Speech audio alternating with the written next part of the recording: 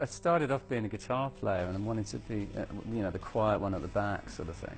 And I just wasn't really good enough to be the quiet one at the back. The only other option left to me was um, to be the singer.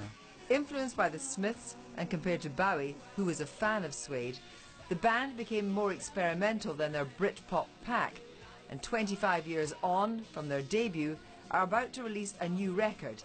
It was time for a bit of reflection.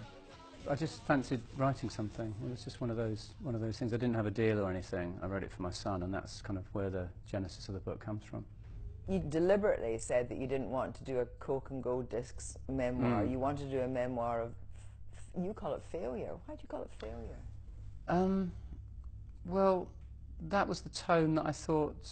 Uh, that was the sort of word that that I thought kind of summed up a lot of my upbringing and you know my parents' situation in the world, and also a lot of the experience of being in Suede in the early days was kind of like failure after failure, struggle after struggle. I get the sense you don't really like the association with Britpop now. I didn't like what it became. Mm-hmm. I was writing, I was documenting Britishness, Englishness, whatever you want to call it. And I think those other bands that came later were celebrating it. Mm-hmm. And I think that's the difference. I, I documented it because it was part of the world I saw around me, and I wanted to document real life. It was almost like a, a slightly scruffy Mike Leigh kind of vision of the world uh, that I saw around me, and I think it kind of became a mutated from a Mike, from a, like a Mike Leigh film into a carry-on film.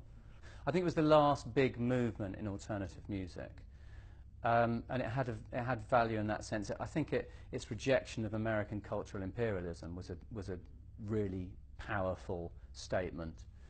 Um, and possibly the best thing about it. And the fact that it moved uh, alternative music into the mainstream, I think that was fantastic.